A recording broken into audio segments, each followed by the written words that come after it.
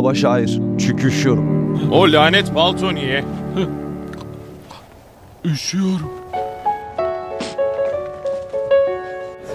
Evet, Pax izleyicileri herkese selam. Bu haftaki konumuz çok daha farklı, çok daha insani. Röportaja katılan herkese tek bir soru soruyoruz. Savaş karşıtı bir cümle kur. 1, 2, 3.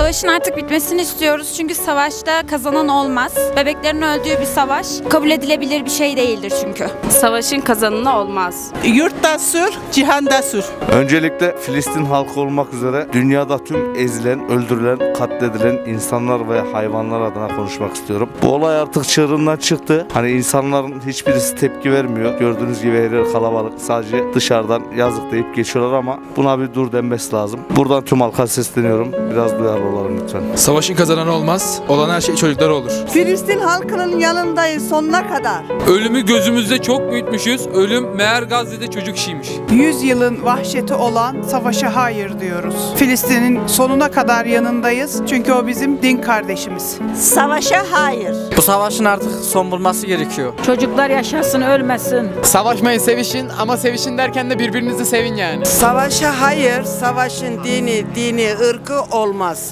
Yurtta sul, cihanda sul. Herkesin söylediği gibi savaşa hayır. Çünkü savaşın hiçbir zaman, hiçbir yerde kazananı olmuyor. Günün sonunda olan çocukları oluyor. Aram Tigra'nın dediği gibi elimde olsa tüm savaş aletlerini eritir, saz, cümbüş, kemani yapardım. Çünkü insanların birbirlerini öldürmelerine anlam veremiyorum. Kan dökmelerine anlam veremiyorum. İnsanların sadece sevmesini, sevilmesini, gülmesini ve oynamasını dilerdim. Kendinize çok iyi bakın. Görüşmek üzere.